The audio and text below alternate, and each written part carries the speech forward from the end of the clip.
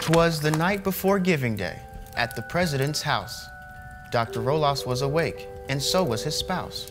Students were nestled all snug in their beds, with visions of homeward dancing in their heads. The college offers each student admission. Not one is required to pay any tuition. President Roelofs cares about his students, each and every one. He knows they are kind, smart, creative, and fun. But tonight, President Roelofs worried and wondered.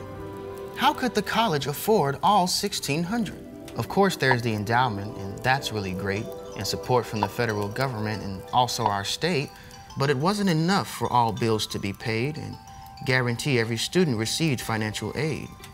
Mrs. Roelofs in her kerchief and the president in his cap just couldn't figure out how they would ever meet the gap. Suddenly, the president jumped up with the platter, and Mrs. Roelofs called out, Lyle, what is the matter? I've got it, he called. I know just what to do. And with that, out of the front door of his house, he flew. Off to the quad. He ran like a flash. Years of Run Walk Club had made him quite fast. His eyes, how they twinkled. His smile, how merry. He bounded with joy up to Hutchins Library. He knew there was only one way the college could afford to give out all tuition promised scholarship awards. Our alumni, the president shouted, our students and foundations.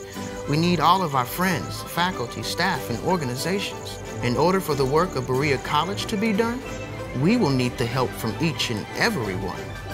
On the eve of Giving Day, we beseech, can 1,600 donors be reached?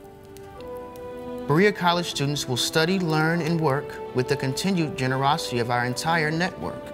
With the wink of his eye and the nod of his head, he let the whole campus know there was nothing to dread.